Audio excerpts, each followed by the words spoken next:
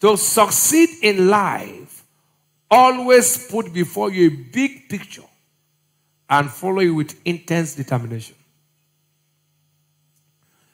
The reason you keep remembering your failures is because your success picture before you is too small or you don't have anyone at all. Once you have a picture too big, the failure will mean nothing to you.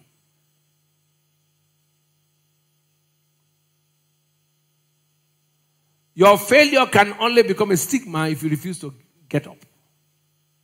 But As long as you get up, nobody will remember you have ever failed in life.